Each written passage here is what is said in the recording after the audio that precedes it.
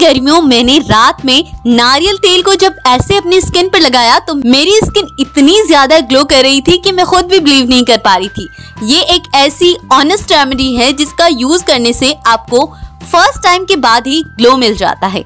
जी हाँ बहुत ही कम इंग्रेडिएंट्स हैं और बहुत ही ज़्यादा बेनिफिशियल होती है हमारी स्किन के खोए हुए ग्लो को वापस करने के लिए। आज मैं आप सभी के साथ में शेयर करूँगी कैसे मैंने मेरी स्किन की ग्लो को इम्प्रूव किया कोकोनट ऑयल की हेल्प से। चलिए शुरू करते हैं, पर इससे पहले अगर आपने मेरे चैनल को अभी तक सब्सक्राइब नहीं किया है तो प्लीज़ आप मेरे चैनल को सब्सक्राइब कर लें और लेटेस्ट वीडियोस के लिए सब्सक्राइब करने के बाद बेल आइकन यानी घंटी को प्रेस करना ना भूलिएगा। तो जैसे कि मैंने आपको बताया, इस रेमेडी को यूज़ करने के लिए हमने कोकोनट ऑयल को यूज़ करना है। तो मैं यहाँ पर पैराशूट का कोकोनट ऑयल ही यूज़ करने वाली हूँ। ये कोकोनट ऑयल की खास बात ये होती है कि हम इसको खा भी सकते हैं और अपनी स्किन पर लगा भी सकते हैं।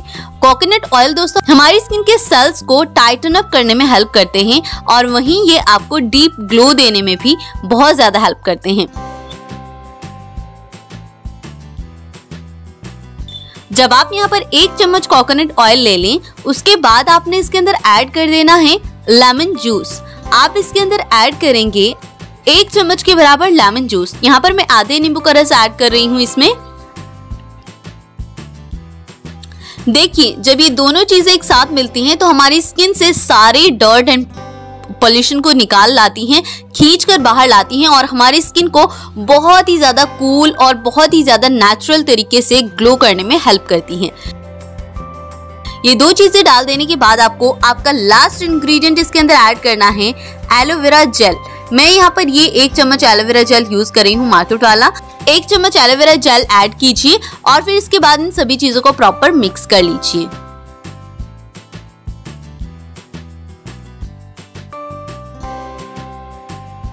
दोस्तों, ये एक लोशन की तरह बनेगा, एक लिक्विड सा लोशन बनेगा, जिसको आपने यूज़ करना है किसी कॉटन की हेल्प से।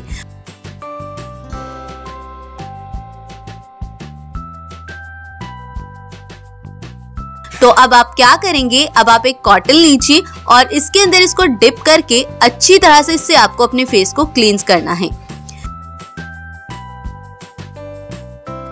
ये एक बहुत ही ज़्यादा नेचुरल सोल्यूशन है, जिसकी मदद से हम अपने फेस की ग्लो को बहुत ज़्यादा इम्प्रूव कर सकते हैं। तो मैंने क्या किया? मैंने कॉटन को इसके अंदर अच्छे से डिप किया और उसके बाद मैंने इसको अपने फेस पर अच्छी तरह से अप्लाई किया। और अप्लाई करने के बाद मैंने बहुत अच्छे से इसको मसाज भी किया।